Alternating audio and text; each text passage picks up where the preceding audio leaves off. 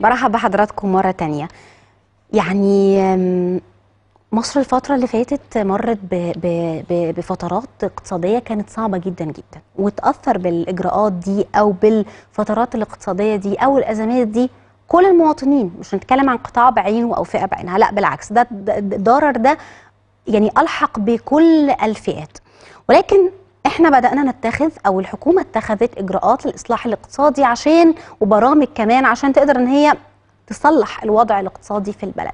بدأت هذه الإجراءات تؤتي ثمارها واحدة واحدة زي ما بنقول. الإجراءات دي عملت إيه؟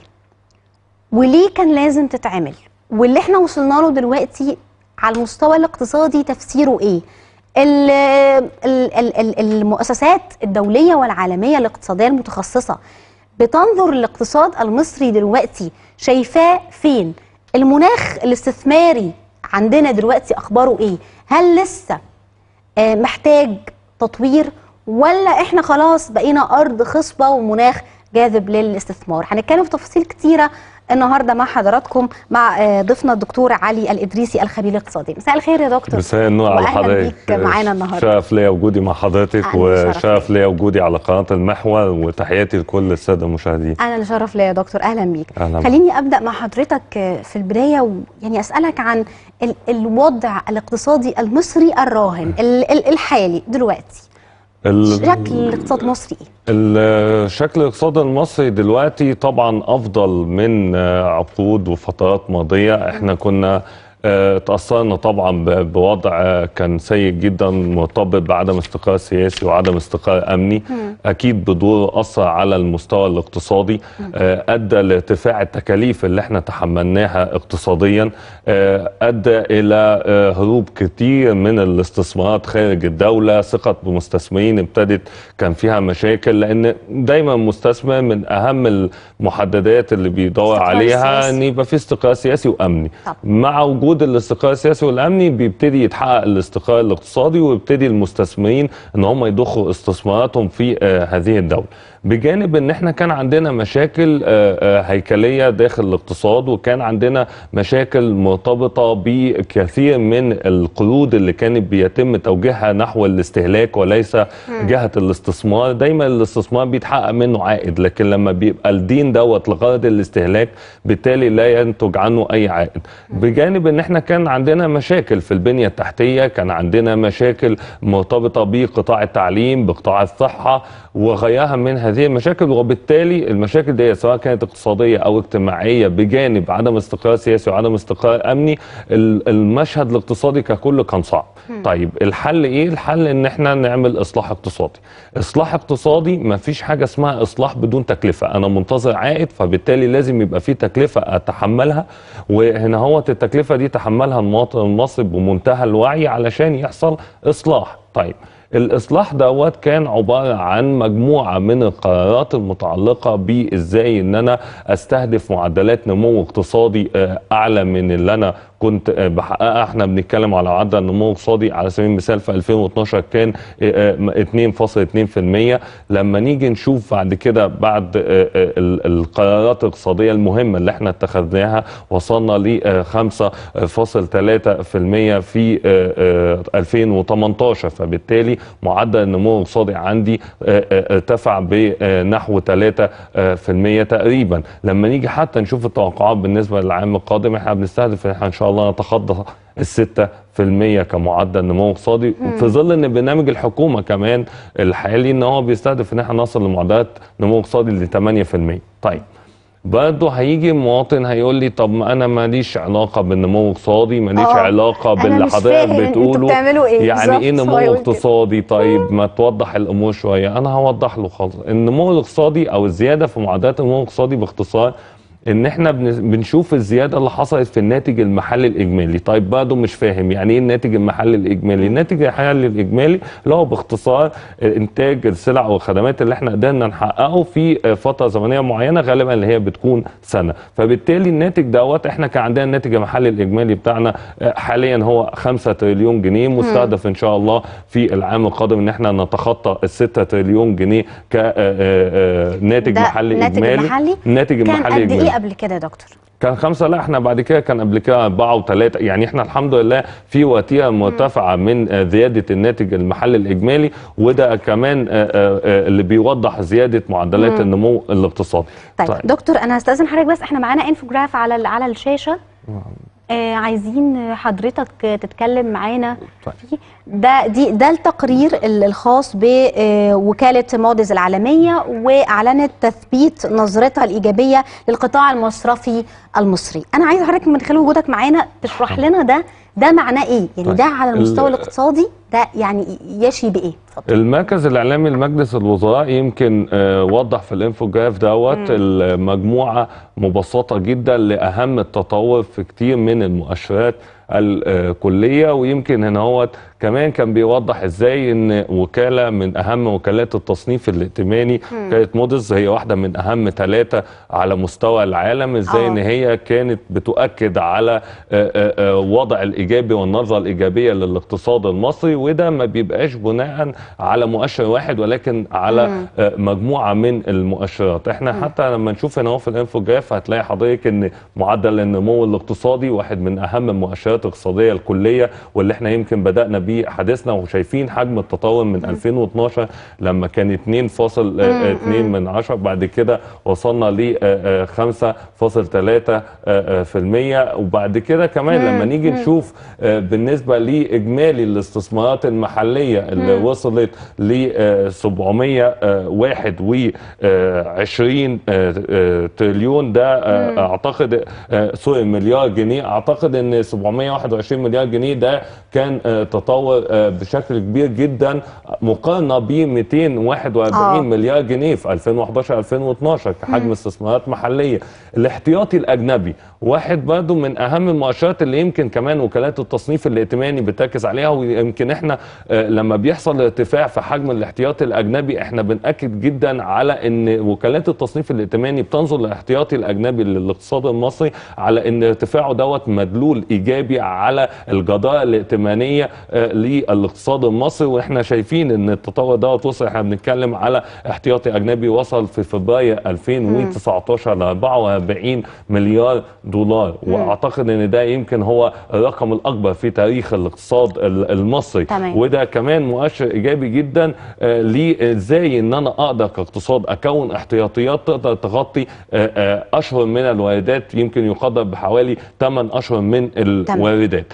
كمان يمكن هتلاقي حضرتك حجم الودائع آه، في البنوك أو حجم الودائع بالنسبة للجهاز المصرفي اللي وصلنا دلوقتي ل 3.8 تريليون آه، جنيه في 2018 مقارنة ب 2.8 آه، تريليون جنيه في 2016 وده مدلول على ثقة المواطنين في الجهاز المصرفي مدلول لثقة عديد من المستثمرين للتعامل مع الجهاز المصرفي إزاي إن في شريحة كبيرة جدا من المواطنين ابتدت آه، تعود إلى الجهاز المصرفي وتتعامل معه سواء عن طريق الإيداع أو عن طريق الاقتراض؟ وده اللي هيوصلني لسؤال مهم جدا. إحنا شايفين يمكن في الانفوجراف من فوق فكرة استراتيجية الشمول المالي. طب هو لا، إيه أنت حرقت لي بقى إيه كل ال- الأسئلة. آه، مش إيه سؤال اساله لا يا فندم طيب. هو هنجيب طيب لو نقدر. نجيب الانفوجراف تاني ونتكلم. اتفضل يا دكتور. أيوه فيلك يعني سياسة الشمول المالي. الناس طول الوقت بتسمع هذا المصطلح والمواطنين يعني خلينا نشرح الأول سياسة الشمول المالي اللي هي بتتبعها البنك المركزي. بالظبط. أنا اتفضل. يمكن حتى آه، هتلاقي حضرتك هي موجودة في الإنفوجراف في, في تاني سطر تقريبا في ظل تطبيق البنك المركزي لاستراتيجيه الشمول المالي.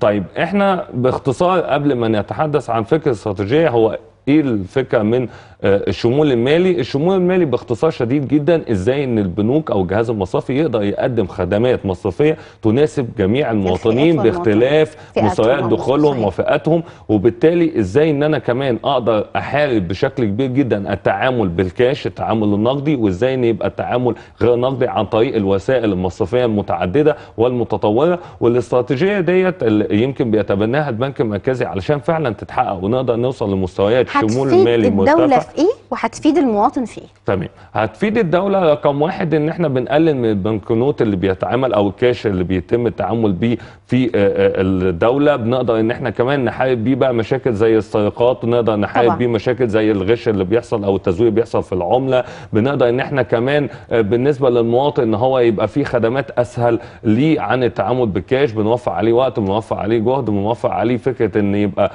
معاه كاش يقدر إن هو يتعامل بيه لا إحنا بنتعامل عن طريق الأنظمة البنكية اللي كمان بقت بتتطور بشكل واضح. يعني إحنا دلوقتي بنشوف إن حتى الاعتماد مش على فكرة الكروت سواء يعني debit card أو credit card أو فيزا أو خلافه لا إحنا إزاي نستخدم الموبايل دلوقتي في آه، آه، سداد كافة ال- الالتزامات الخاصة بينا؟ ده جزء بقى مهم جدا. الاقتصاد العالمي كله بقى مهتم بفكرة الشمول المالي شايفين دول عربية دولة زي الإمارات دولة زي السعودية على سبيل المثال حققت مستويات عليا من الشمول المالي وبقى في تقدم واضح. مصر ابتدت تاخد خطوات إيجابية في الملف دوت. يمكن عندنا برضه ما زال بعض التحديات اللي البنك المركزي شغال عليها بشكل مكثف وهي آه، رقم واحد المصروفات الخاصة بالتعامل مع البنوك زي فتح الحساب واستخراج ال- الكروت ال- المصرفية وخلافه من هذه الأمور. آه، وكمان جزئية لا تقل أهمية ودي يمكن من من الحاجات البنك المركزي برضه بيشتغل عليها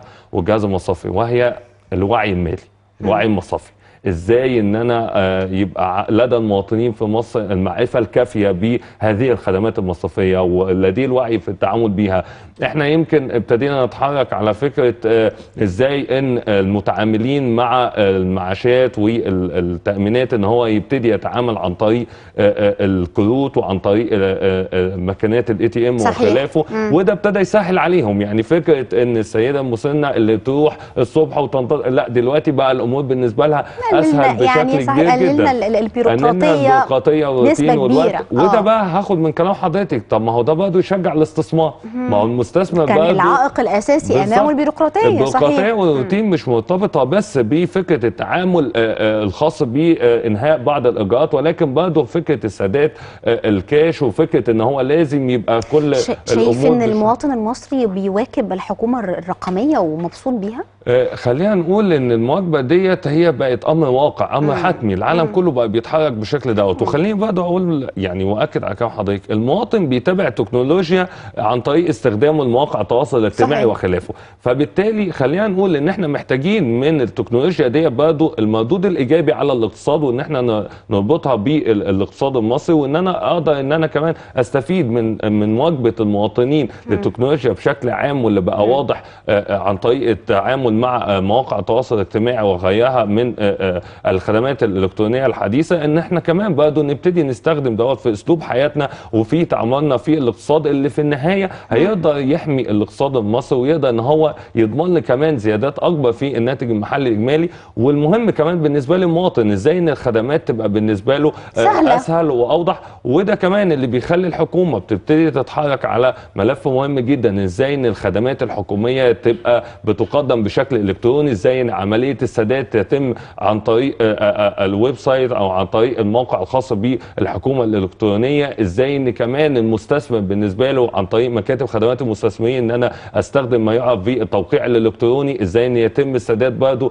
عن طريق الخدمات المصرفية المتعددة؟ كل دوت تسهيل للمواطن تسهيل للمستثمر وفي نفس الوقت ضمان لحقوق الدولة لأن أنا بحارب برضه غسيل اموال في النهاية بحارب عمليات غش ممكن تكون موجودة بحمي الاقتصاد الوطني. كل ديت فوائد وعوائد بتعود على المستثمر بتعود على المواطن بتعود على الدولة الفساد طبعا وبنقلل الفساد طبعا جداً. يعني. فكرة البعد الإلكتروني واستخدامه ده أكيد يعني فكرة إن أنا أفصل بشكل واضح ما بين آه، آه، آه، المواطن وما بين الموظف وإن ما يبقاش فيه تعامل التعامل المباشر. التعامل المباشر والتعامل الإلكتروني يبقى موجود طبعا ده هيقلل الرشاوى. امن أكيد. للدولة وللمواطن طيب أكيد.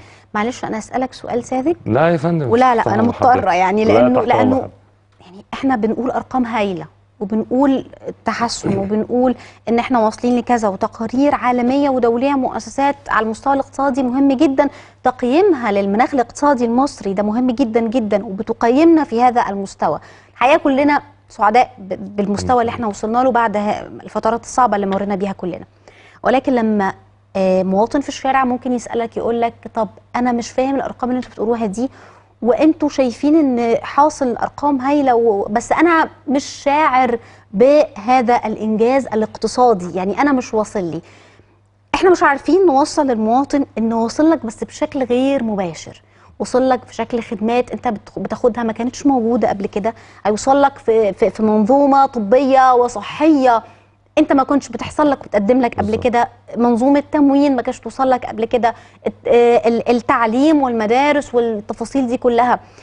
فكرة إن المواطن يفهم إن في دايرة بتلف فيها ال- الحاجات دي مش واصلة له. طيب خلينا نقول على حاجة إن يمكن حضرتك قلت إن في آثار آه، يمكن غير مباشرة هو بي- بيشعر بيها وخلينا أقول كمان إن في آثار مباشرة. بمعنى إحنا عملنا استثمارات في البنية التحتية ومشروعات قومية اللي اشتغل فيها واللي بناها مصريين. وبالتالي ده فرص ال- العمل، ده, ده اللي بطالة. ده اللي يخليه ينعكس على معدل البطالة اللي كان 12.5 في 2016 12.5% في 2016 وانخفض ل 8.9 في الربع الرابع من 2018 طيب فرص العمل ديت ما دي اتوفرت للمصريين. ده حاجة. الحاجة الثانية لما نبتدي نشتغل على المشروعات الصغيرة والمتوسطة ويبتدي يتعمل مبادرة ب 200 مليار جنيه لخدمة هذه المشروعات وانها أبتدي أوفر لهم التمويل والحوافز علشان إن هم يبتدوا يبقى لديهم المشروعات الخاصة بيهم ما دي حاجة مباشرة ليه. طيب مستويات الأسعار ممكن يكون إحنا بالنسبة لمعدلات التضخم شايفينها مرتفعة لكن في حلول للدولة ابتدت تتحرك عليها سواء على قطاع الزراعة أو قطاع الصناعة علشان في النهاية المواطن يقدر يحصل على السلع الرئيسية بالنسبة والسلع الاستراتيجيه بسعر يكون مناسب. طيب في نقطة كمان لازم المواطن يبقى عنده علم بيها. الاقتصاد المصري مش بمعزل عن ما يحدث في العالم. طبعاً لا. للأسف الشديد العالم دلوقتي والاقتصاد العالمي فيه عديد من المشاكل. على التباطؤ اللي بيحدث في معدلات النمو الاقتصادي العالمي، الحرب التجارية اللي موجودة ما بين الصين والولايات المتحدة الأمريكية، التوقعات بوجود أزمة اقتصادية عالمية في في نهاية 2019 وبداية 2020، المشاكل المرتبطه بتقلبات أسعار الصرف في الأسواق الناشئة، كل دي مشاكل بتمر بجانب كمان ده عاوز أضيف عليها حاجة، تراجع حجم الاستثمارات الأجنبية المباشره عالميا باكثر من 24%. على فكرة إحنا كمان حتى بالنسبة للاستثمارات الأجنبية المباشرة اللي وصلت مصر في 2018 كان 7.7 مليار دولار وكان أكبر حجم استثمارات اجنبيه مباشره يصل لدولة في إفريقيا. وبالتالي إحنا حسنا من مناخ الاستثمار بتاعي. اللي أنا عاوز أقوله إن إحنا في في ظل التحسن دوت اللي إحنا مش بنتكلم عليه مش دكتور علي إدريسي ولا الحكومة اللي بتقول إن إحنا حققنا النجاحات ديت. لا إحنا بنقول إن وكالات التصنيف الائتماني صندوق النقد الدولي والبنك الدولي هم اللي بيقولوا لا الاقتصاد المصري ابتدى يتحسن يتحسن في ظل الظروف العالمية دي كلها في ظل المشاكل اللي بيمر بيها الاقتصاد العالمي. لا في ظل اننا بنحارب.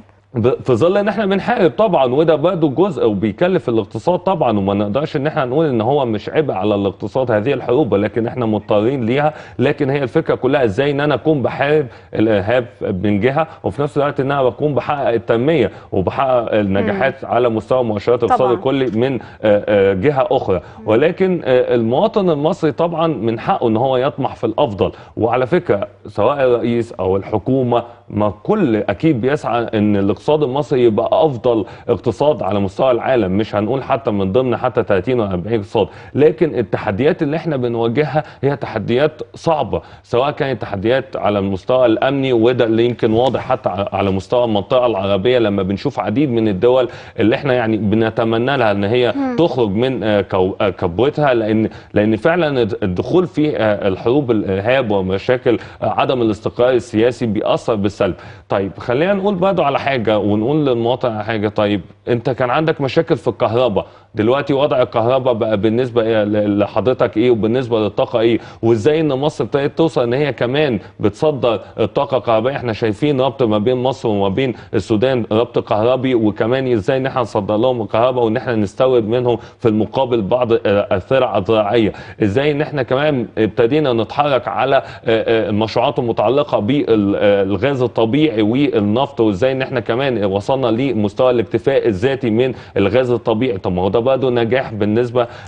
للاقتصاد المصري والدولة المصرية. إزاي إن إحنا ابتدينا وده يمكن بتصريح من سيادة الرئيس إن أنا حجم المشروعات القومية اللي الدولة اتحركت عليها تنتهي في 2020 وصلت آه، آه، تكلفتها لما يقرب من حوالي 4 تريليون جنيه. وده رقم مش قليل إن إحنا نكون بننفق كل ال- المبالغ ديت. طيب هو أنا هنستفيد إيه من المشروعات ديت؟ ما أنا هستفيد من المشروعات مشروعات البنيه التحتيه إن هي تبتدي تجذب استثمارات. الاستثمارات دي اللي تبتدي توفر فرص عمل اللي تبتدي بعد كده تزود الإنتاج آه، من السلع والخدمات تبتدي تعظم حجم الصادرات المصرية تبتدي تقلل الواردات تبتدي تزود الناتج المحلي الإجمالي. كل دي عوائد أنا هحققها من الاستثمار. فر- فرص العمل خلينا نتكلم على يعني نوجه رسائل للأشخاص أو المواطنين اللي شايفين إن مفيش فرص عمل وإننا عندنا آه، نسبة البطالة موجودة والدولة عندها كمية مشروعات. يعني لو كل الناس اللي بتقول إن إحنا عاطلين وفي الميزة إن هي في قطاعات ومجالات مختلفة.